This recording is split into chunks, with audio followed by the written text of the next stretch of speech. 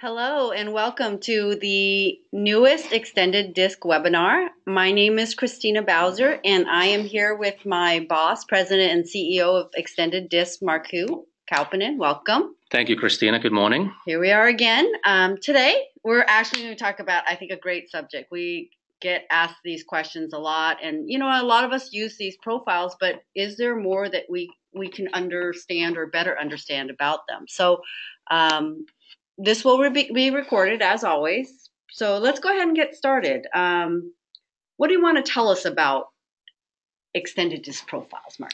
Uh, thank you, Christina. Um, well, really, what I want to talk about is the profiles, is to give a kind of a quick overview and, and maybe refresher for some of the audience members. I don't intend this to be a certification training or, or anything like that, but I, I think I will be able to give a couple of new pieces of information that I hope audience members will uh, find valuable, uh, something that I, I, think sometimes people miss when interpreting the profiles. But again, I'm going to keep it big picture.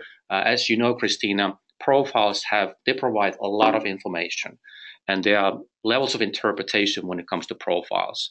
And, and uh, we are not going to talk all about those. Maybe we save that topic for a later webinar. But again, I want to kind of give you a quick overview of what we are talking about and how to interpret them.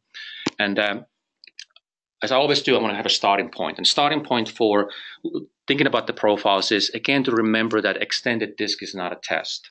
And the reason I mentioned that in this webinar is that when we look at the profiles, ultimately we want to see a very valid profile. And in practice, that means that the person who's answering those 24 questions must be consistent in their responses. And when we use the word test and asking people to complete this test, that really is a distraction because they think that there are some types of right or wrong answers. And when they're trying to provide right or wrong answers instead of their own answers that are just honest gut reactions to those words, um, often they get a little confused and we tend to not to get as valid results. So please always stay away from the word test. Yeah, it gets that tense motion in us when we hear that word sometimes. Yeah, and there really are no right or wrong answers. Mm-hmm. And and second thing is that is is that there we go. That what the profiles identify is uh, a particular profile too is the hardwired behavioral style, who the person really is. We do look at how the person perceives they need to how they need to adjust presently in their work environment, but the main focus is who the person really is, that hardwired behavioral style. And then then also I want everybody to kind of think about the DISC as a diagnostic assessment. So it's kind of like if you think of being a doctor, you are using, let's say, MRI or X ray. Those are diagnostic tools to help us to identify what's causing the pain, so to speak. And the reason I want to mention that is that when we are using any type of diagnostic tool, if it's a doctor interpreting an MRI image or us interpreting the profiles, we need to again think about the validity of the results before we jump into conclusions. I just want to say one thing. We are getting a couple questions, and I forgot to mention this at the beginning. We won't be able to answer them during the time because we're so time limited, but I promise you we will answer them after. And yes, the slides will be available. So thank you. All right, sorry about that. So, so and, and then also when we look at profiles, like I mentioned, there are levels of interpretation. Like sometimes it might be enough for us to know that I'm a D style or I'm a DI. That may be perfectly enough because we are trying to just kind of get to the surface level of how I can better modify my communication style, for example. But we should always remember that all of us are a combination of all of these four disc styles. And I can kind of show you how we can get that information from the profiles. And to truly, to truly understand someone, we need to look at the relationship among all four disc styles when we interpret in the profiles. So you're talking about just different layers. At some levels, very quick, I just need to know he's a D. And then at other levels, I need to know he's a DI. There, I need to know more information about him. So you're just saying that, you know, we need there's different levels in which people can use disc. exactly. And and we can even get to so deep as to look at what are some underlying feelings that mm. the individual might be experiencing be it uncertainty frustration stress all of those kind of things you can interpret from the profiles. A lot of times you really you're not in an appropriate setting or you don't have the time exactly. to have those kind of interpretations. And you really should not go that deep. In fact i kind of have the rule that when you're using the information from the extended disc assessment, go only as deep as you need to. Don't go too deep because let's say you don't have a whole lot of time to review the assessment results, and if the participants are left somehow confused, when people are confused, they are not going to take the information and use it to modify behavior. And that's what we ultimately hoping to achieve. Give uh, participants information about who they are so they can make clear, conscious decisions about how to modify behavior. And, and if I may tie that diagnostic assessment piece to, to is that we should always, when we look at uh, the profiles, the first question you should always ask, and I hope this is one of the key, uh, key takeaways from this webinar, you should always ask, can I trust the results? And I promise by the end of the webinar, I'll show you how you can interpret that from the from the profiles. Yeah, especially if you're talking about that you may actually use the DISC results to find out what a person might be feeling. How would I even know that? So that is something you're going to talk about later in the webinar. Yeah, not to get to that. Of course, again, this is not a certification where we spend you know several hours on how to interpret profiles, but hopefully I can give you some ideas here today. Okay, so um, now that we've just kind of gotten the overview, why don't we just go ahead and jump in and start talking about the profile? Is that okay with you? Sounds good. Okay. So here we have the two uh, famous extended disc profiles.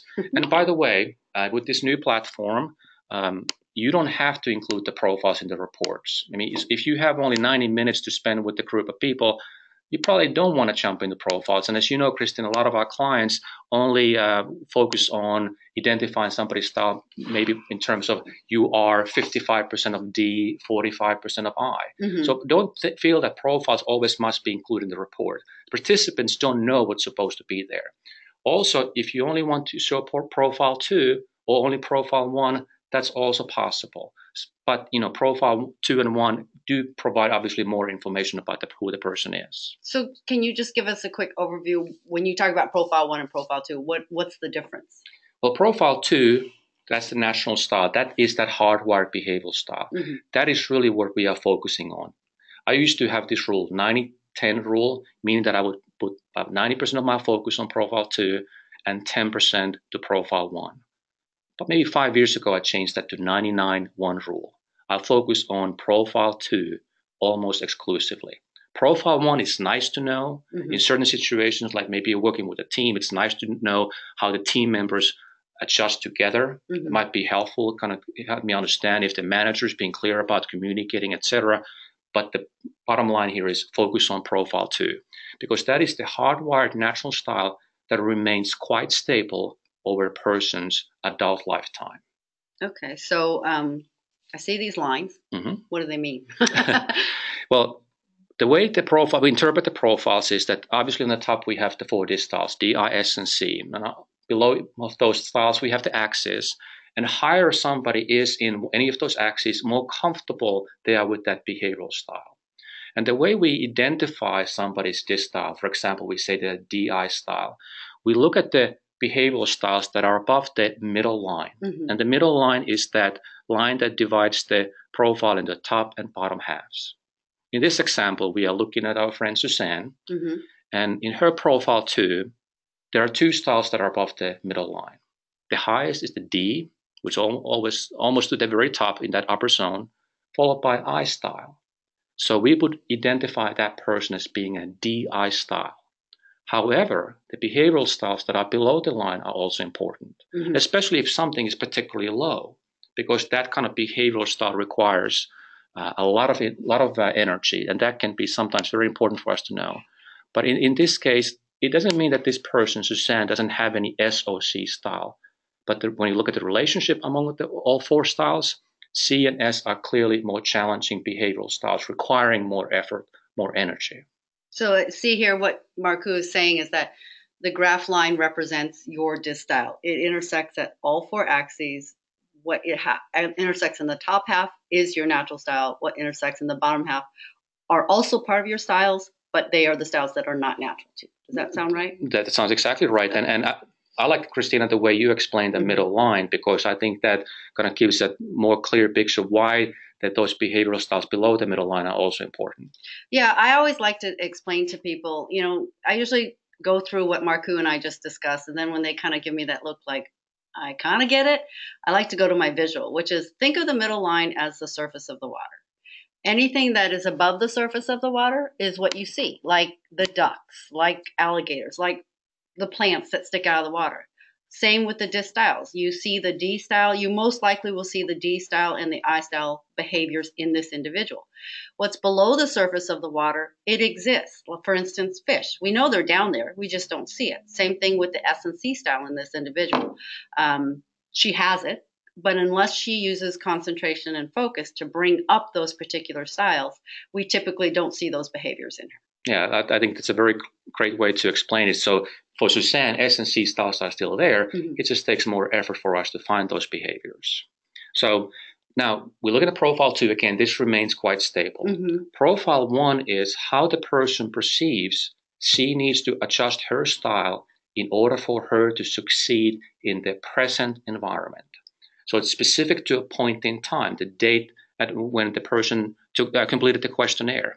So when people retake the questionnaire over time, what we expect to see is that profile two remains stable. Mm-hmm. Profile one almost always will change. Not every single time, but almost always. And the reason it will change because the environment has changed. Maybe there's a new team members, new boss, maybe even new job, priorities, goals have changed, and what behaviors are going to make that person successful have changed, and the person perceives different pressure, pressures to adjust that behavior. So profile two remains stable. Profile one will change. And, and one more thing about the profile two, people ask, well, somebody took the questionnaire again and there's some changes. There might be some, but typically not a, a whole lot. But my rule of thumb is that I trust the first profile first for this reason. When people complete the questionnaire the first time, you know, there's those 24 questions, and each question has those four options with the word pairs. When they see words like, let's say, talkative and open, mm-hmm. they're simply words. Now they get the assessment. They get great DISC training from a facilitator. They understand what the DISC styles are all about. Maybe over time they complete the questionnaire again. And now when they see those words talkative and open, they are no longer just words. Now they are I style descriptors. And sometimes that can create a little bit of a distraction, if you will. So that's a great point. So if you have someone who has two results in your database, it's better to go with the first one. Yeah, I always like to look at both, uh, mm-hmm. but I, I, tend to trust the both, the first one the, the most. Okay. Um, so profile one is a snapshot in time. Who do you feel you need to bring to work at the time you took the assessment? That's so, right. Now that we know about um, these lines and the graphs represents your DISC styles. Um, a question I often get asked is, what are those numbers below the profiles? Can you talk more about that? Sure, it's a great question. And, and the, the numbers are simply another way to identify somebody's DISC styles, their profile two and profile one DISC styles. Uh, the top row, and by the way, these are percentages, so mm-hmm. that rows will always add to 100%. So if you look at profile two, the top row, we see numbers 55, 45 it shows the relationship among the styles that are above the middle line. Mm-hmm. The bottom row shows the relationship of these styles, in this case S and C, that are below the middle line. So they will always add to 100. So what it, this tells me that Suzanne's the relationship among the behavioral styles that are most comfortable to her, it is 55% of D, 45% of I. The numbers below tell me that when it comes to behavioral styles that require more energy from her, C is the one that requires the most energy 55%, 45% relationship between the styles that are more demanding for her. So, that top row you're saying she would be 55% D and 45% I. And because S and C don't intersect in the top half of the graph, that's why they're showing zero and zero in the top row. Yeah, if something is below the line, mm-hmm. it automatically will get a zero on the top row. And of course, vice versa. If something is above the line, it's going to get a zero on the bottom row. And here, this is actually a pretty good example here because if you look at the profile one, mm-hmm. notice that uh, her D is 100%. And if you notice, it's at pretty much the same level as in profile 2 mm-hmm. And this again is an illustration that these numbers are not a how high or low you are in particular scale. Because when it comes to behaviors, we cannot use normative absolute scale. There is no maximum D behavior that you can achieve. and sometimes I even, particularly with D style, hey, I score yeah, 98. I say, well, I'm at the top of the graph. I'm I'm the total D. Yeah, or, or I'm a 99% D. I mean, like they almost, if they work a little bit harder, they get to that ultimate D level. Yeah. You have to look at the relationship always. What the DISC behavioral style model is all about our preferences among these four styles. And in this case, in profile one, it gets 100% because it's the only one above the middle line. Exactly. By the way, it would have gotten 100 no matter how high above the middle line it is because the only one is still would have gotten 100. Right. So you're saying it could be in that upper white section and it would still be 100% because I always tell people it's not just the fact that this person said I'm 100% D. They're also saying that there are three styles in which they don't feel they need to be, which is pushing it below the line, leaving only one style above the line. That's correct. So, okay, well, great. Thank you for explaining the numbers. Um, how do um, oh, how do I take these profiles and and look at it on a diamond because that's also in the report as well. Yeah, let's look at that. And, and um, when we uh, go to the next slide here,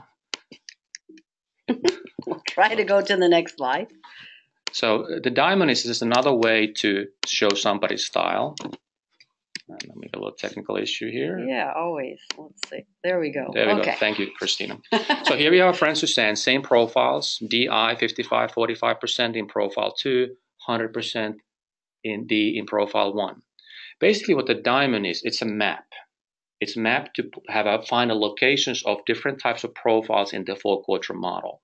Now remember that profiles will always give us the most specific and clear identification of somebody's behavioral style. Not only that, it can detect those underlying feelings and emotions we mentioned earlier in this webinar, like frustration, stress, and so on. But sometimes uh, Diamond is more helpful and, and uh, clear way of looking at behavioral yeah. styles, especially when we're working with teams. Um, so, for example, here we have Suzanne, who's a D style. The reason she, her uh, profile two, which is the starting point of the arrow, again, remember, profile two is starting point of the arrow, is in the D quadrant. The reason for that is because the D is her highest behavioral style, most comfortable to her. Mm-hmm. So whatever is the highest in profile two, that will determine the starting point quadrant of, of, of, of the arrow. So in this case, she falls into the area of the diamond that corresponds to a DI profile, in particular to uh, what we call a 55, 45% DI profile. That is the reason it's fairly close to that I quadrant. Now, profile one is the tip of the arrow. And because Suzanne has 100% of D, that is the reason she's based, uh, placed in that very top right hand corner.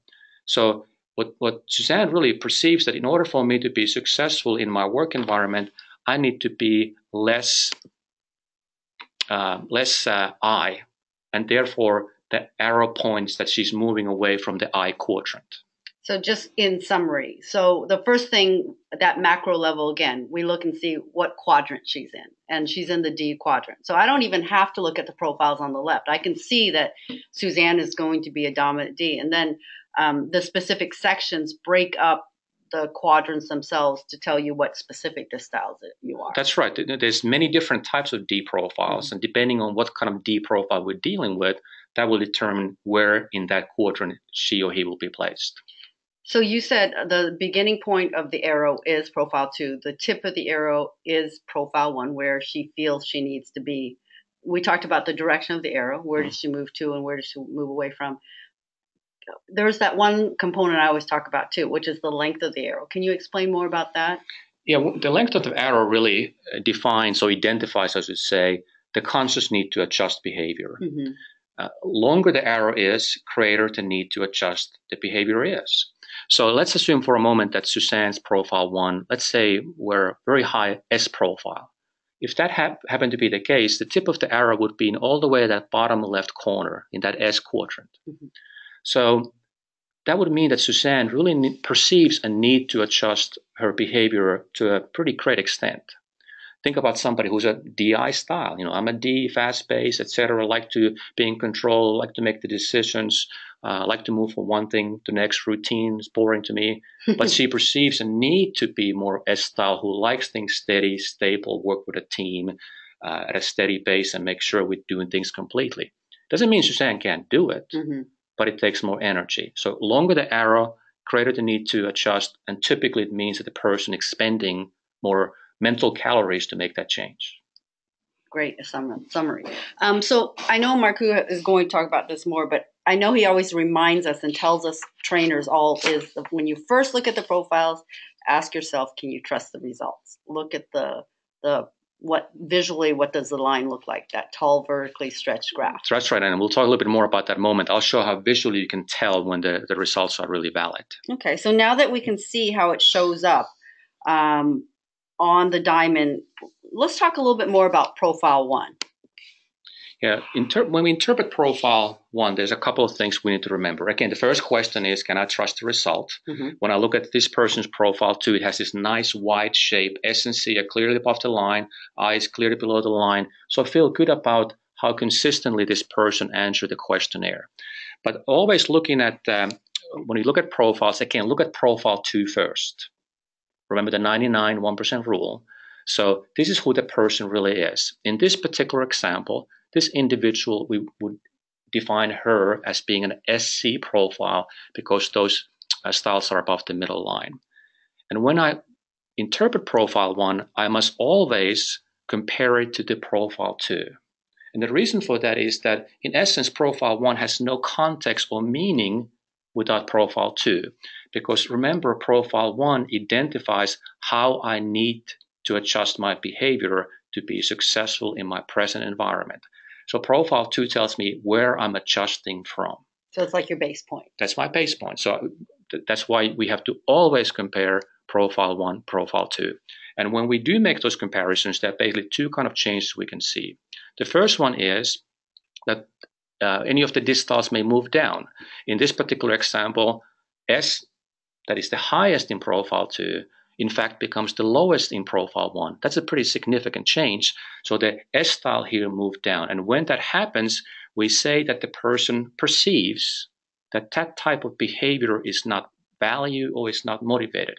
So in more practical terms for this individual, this person probably feels that working um, uh, maybe in a team setting or you know really taking my time to do make sure that I do step by step everything that that, that kind of behavior is not going to create success for me. Maybe I need to speed up a little bit. Mm-hmm. So that again is that if something moves down, person perceives that kind of behavior is not going to make me successful. It's not value. It's not motivated. It's not uh, really supported. The second kind of behavioral change, of course, would be that one of the DISC styles or more of the DISC styles would move up. And here we have D style moving up. When that happens, simply what it means is that person perceives that there is a need to emphasize that kind of behavioral style. Mm-hmm. So again, remember these two things something moves down, person perceives it's not going to make me successful, that behavior is not value supported, motivated. If something goes up, hey, I perceive I need to increase that behavioral style. That's it. And then also, could you just clarify for some of us when we see the visual, the styles move up and down, but they never break the surface of the middle line. Is that something that we pay attention to? Well, the, the, most significant change we look for is one is is there a change in the primary style? Like mm-hmm. this person, the primary style was uh, S, it's no longer the primary style. If you think in terms of diamond, basically this person's diamond, uh, the, I'm sorry, the arrow started in the S quadrant, it ended up in the C quadrant. Mm-hmm. That's noticeable change. Second is if something moves clearly to the other side of the middle line. Um, that's uh, something we pay attention to. For example, here we look at the I style, for example. It was the lowest in profile two. It moved up a little bit. Honestly, I would not consider that to be that significant change. I would not really pay attention to it. Yeah, because one of the things I say is it's like that fish. It's swimming around underwater and it can move around to different positions, but you typically won't see it because it doesn't come to a visible point. And, and here again, remember we started that we always need to look at the relationship among all four styles. Mm-hmm. When we are interpreting the changes, we st- still need to do the same because when I look at the movement of I style from moving up a little bit from being the lowest, in relationship of all the other changes is not that significant. So, so I'll focus on the most significant changes first. So what assumptions can we make about this person? He's we see that I mean she she's reserved, she's an SC naturally, but when I look at her profile one, she's saying I need to be a CD. What can we make any assumptions about her? Well, we have to be very careful not to jump into conclusions because I don't want to conclude that because of the change she must be doing this. Mm-hmm. I don't know. This person lives these profiles every day, so she wouldn't be able to tell me what's happening. But on a kind of a big picture and general level, I can see probably conclude that this person, uh, because that changes that S style, S being the highest, becoming the lowest, we're really moving away from the bottom half of the DISC model. You know, being moving away from the people behaviors mm-hmm. and moving toward the task behaviors, being a CD style. So, for example, I wouldn't be at all surprised if this person said something like that. Uh, I work in um, on many projects with a very uh, clear critical deadlines, where it's a very task-oriented environment where I may have to work more alone than in a team settings. Mm-hmm. And uh, sometimes I say something like that. Typically, when I see something like this, the person perceives that they maybe need to move a little bit faster, work a little bit more alone in less team settings. I don't suppose that sounds familiar to you. And that gives me a close enough ballpark that the person will respond, assuming they have, a good rapport going, that, well, it's not quite like that, really what it is, and then they explain it to you. And now they have the DISC model, and we have defined the different kind of behaviors. Now they actually can kind of verbalize to themselves why they believe they need to make those kind of adjustments to succeed. That's great. So ask those open-ended questions because they'll tell you. Yeah, because if you tell them that this must be happening, it's not going to go anywhere. Yeah. They know what it means. You just need to facilitate them to be able to verbalize and define what those behavioral modifications mean in practice. So I think in summary, I always say you as the trainer or coach, you can technically interpret. You can show them where the profile shows going up or down, but you need them to fill in the rest. That's right.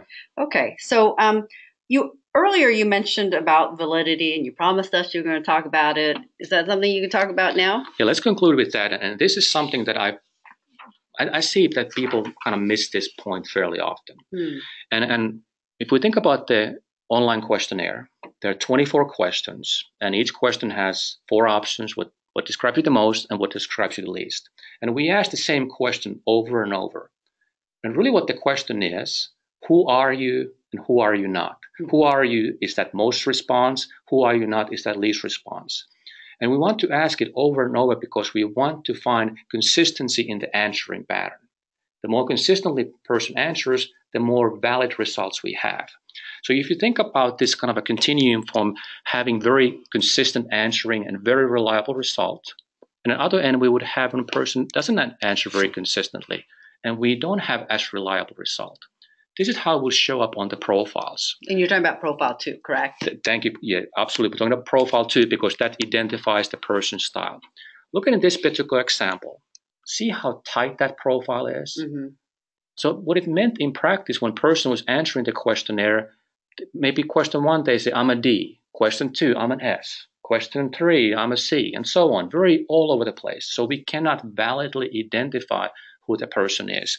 And in fact, what happens is that when a profile is very tight, our system will not even generate a report. Mm-hmm. And the reason for that is that people make sometimes very important decisions about what to do with this information. How should I modify my behavior? What can I do to become more effective as a leader or a salesperson, and so on? If we know that we don't know how valid the results are, we have a moral obligation not to provide anything. Uh, you know, it's best to ask the person who completed again. They might have been distracted. Who knows what happened? But we want to provide valid information. Now, as the person begins to answer more consistently, notice how the profile becomes wider and wider Like the profile all the way to the right there, D and I all are all the way that upper zone. S and C are clearly below the line. The person really could not have answered much more clearly and consistently. So the wider the profile is, more valid the results are. If the profile is tight, like let's say the second one from the left, it doesn't mean that the person is not a DI style. But I need to look for confirmation of that. Uh, I need to be a little bit more cautious of that. It could be that person was simply distracted when they completed the questionnaire, but it could also mean that something significant is happening in the person's life at the time. For example, let's say they concern about their future in terms of financial security, maybe illness of loved one, um, maybe they are ill or going through a divorce. Those kind of significant life events and stressful situations can influence how a person answers the questionnaire, and we need to be more cautious. So you're saying the the taller vertically stretched, the more consistent they have, have identified with the dial, the more we can trust the results. However, if it's more compressed or tight, as you are showing on the left side, um, you need to ask more questions. And just I always like to throw in, you know, us as trainers, you know, anytime you have questions, you get profiles like this and you don't quite know what to do with it, we're here for you. So yeah, and, and the worst, best way to learn the profiles is to put a face with the profile and, and talk it with our coaches.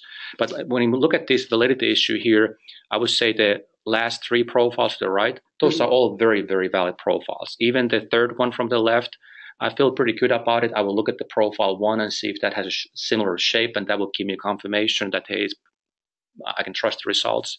And even the profile second from the left, it might be valid that this person is DI. Mm-hmm. I just need to look a little bit deeper.